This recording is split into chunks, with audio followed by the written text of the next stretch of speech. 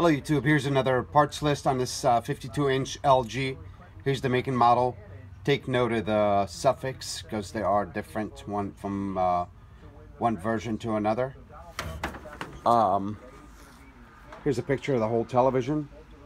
Buffer, T-Con, main, power supply, and another buffer over there.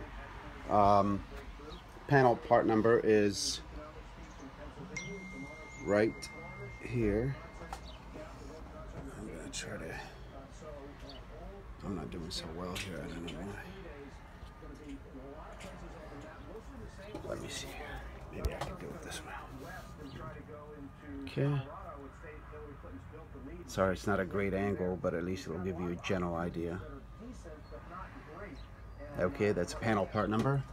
Um, here's the buffer over here. I didn't take the shield off, but it's visible right here uh, T-Con, I also didn't take the shield off, but you can somewhat make out the part number down there. I'm also going to include um, all the information in the description. Here's the model number, business card. Uh, main board is right here. Uh, here's all the inputs. Here's more inputs.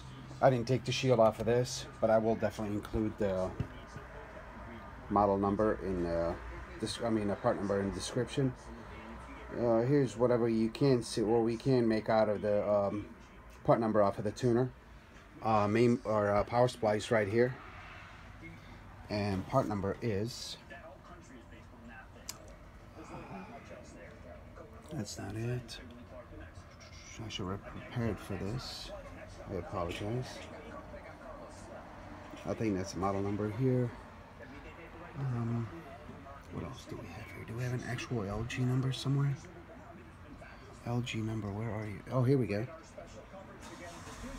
All right, that looks good. And last but not least, the other inverter, which is this one here. The It's a Sharp panel with Sharp inverters.